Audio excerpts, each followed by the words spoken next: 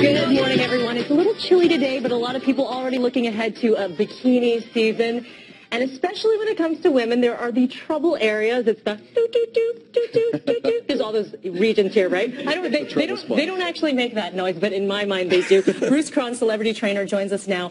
Uh, it is probably the hardest thing for those trouble spots, and you have a big piece of advice is to be aware of them, right? Yeah, there's a really simple, like I can tell you exactly how fat is going to leave your body. And here's what you can do. So you, you, everyone at home, you can do this right now. So you, you should do this. Okay. So touch your face. Uh-huh. So when we touch your face and you feel that it's warm, It you feel the fat on your face. Okay. See how it's kind of squishy and malleable? Sure is. Okay, so now you want to touch one of your trouble spots. Oh. So for women, it's usually It's usually like a love handle or sort of this, Yeah. re- this region here. that Yeah. region there Yeah. can be like here the saddlebags, Yes. the, the bingo wings, Bingo you know, yeah. whatever they, whatever the problem is. And when you touch that fat, Mm-hmm. you'll notice something really unique about it is that it's a lot harder. Yeah. So you touch it, it's a lot harder, especially like cellulite, Yeah. and it's a lot cooler.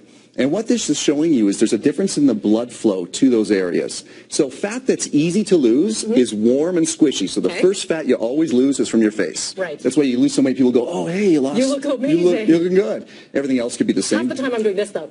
Well, that's true. Right, but so that's The model pose. Yeah. but then if you if you actually if you look at those other areas, it's a lot cooler. The Mm-hmm. blood can't interact that as efficiently. So we want to look at ways that we can improve blood flow to those trouble spots to it. speed up fat loss. A lot of it has to do with what you put into your body, of course, Oh yeah, big time. So one of the worst things, this is really interesting actually, is uh, there's if you eat a lot of sugar, Yes. Mm-hmm. if you eat a high sugar meal, it'll actually reduce your body's production of something called nitric oxide.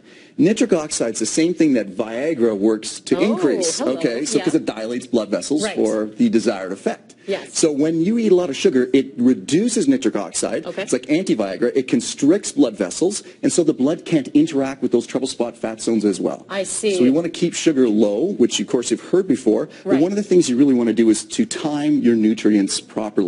Uh, the, one of the tips that I saw that you, you provided here was the lemon water starting Yeah. your day. That I used to do that and Yes. I quit. Well, you should get back on it because Really? lemons, first of all, it's a gentle detoxification Yeah. Mm-hmm. with the liver. The liver is very important for fat loss, but it also makes your body more alkaline.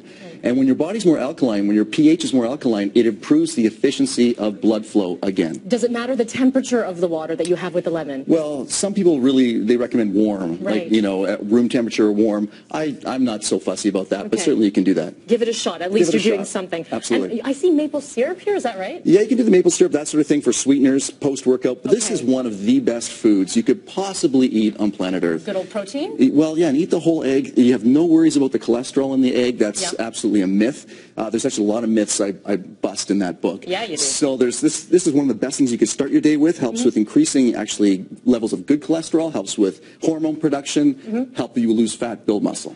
Uh, is this flax? We have some flax here. Ground flax seeds really cool. If you've got love handle fat, for example, it can, it, ground flax seeds can be um, actually very beneficial for helping to lose that fat Oh. because it helps to control the hormone insulin. Uh, and insulin and blood sugar issues have been indicated in that area. And it's so, I don't know why you went like this to me. You don't have that area. yes, I do. Indicated in right in this this, area. region here. As soon as Bruce walked in, by the way, I went, hello, muscles, because he walked in like this, and I went, I'm sucking in. um, and uh, some granola. Are these uh, homemade? Yeah, this is these- really delicious. okay. This is a great post-workout snack. So if you're going to have something after your workout, choose something like this. It's got lots of carbohydrates, some protein. That's great, but you maybe don't want to start the day with that. If you're starting your day, you hear it is, it's breakfast time, go for the protein, go Yeah. for the fat, go for the fiber. This is great pre-exercise. It'll help you to lose your trouble spots a lot faster than as, as it, unless you, as opposed to say, for example, having like orange juice or that sort of thing or high carbohydrate selections. You always see the commercials saying chocolate milk after your workout. Oh my goodness, chocolate milk after. I mean, I'm not. I'm just not very pro milk. I mean, it's just my personal opinion. Yeah. But chocolate milk is full of lactose. That's very problematic for many people. Sugar. Increases milk. Uh, increases sorry mucus production. So Yeah. that's inflammatory. That's bad. That increases cortisol. Mm-hmm. And it's just basically it's like junk food. Yeah, it's Yeah. delicious. though. Yeah. Okay, okay, just it's moderation is key. Moderation is always key, no Yeah. question about it, but you want to be a little bit more scientific about how you approach this. So if you want to Okay. lose those trouble spots, the methods I outline in that book are what is going to do it.